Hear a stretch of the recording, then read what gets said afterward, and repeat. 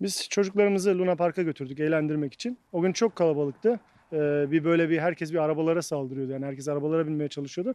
İki tur biz de kızlarımızı hatta bindiremedik. O sıra masum bir amca dikkatimi çekti. Masum masum e, Luna Park'taki o çarpışan otaya binmeye çalışıyordu. Kızlarımı bindirdim. Yanına gittim.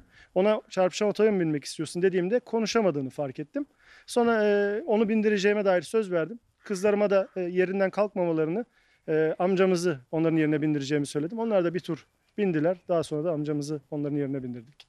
Aslında daha jetonu verdiğimde öyle bir mutluluk hissettim ki kendisine. Onun bana gülümsemesi, oradaki verdiği e, reaksiyon beni çok mutlu etmişti. Yani e, kendi çocuğum biniyormuş gibi izledim kendisini bir tur. Hatta gittik ayrıyetten jeton aldık. Birkaç tane jeton daha hediye ettik kendisine.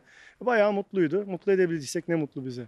Yani TikTok'ta yaklaşık 10 milyon oldu. Bir kardeşimiz paylaşmış onu. 10 milyon oldu. Instagram'da bizim sayfamızda da şu an 2 milyon 200 bin civarı bir izlenme mevcut. Birçok sayfada paylaştı büyük sayfalar. Herkese teşekkür ederiz. Yani paylaşan herkese tek tek ayrıca teşekkür ederiz. Onlar sayesinde viral oldu video. Açıkçası etmedik. Yani videoyu biz beğenmiştik. Kendimiz e, birçok defa izledik paylaşmadan önce ama e, video gerçekten bizim tahmin edemeyeceğimiz bir boyuta ulaştı.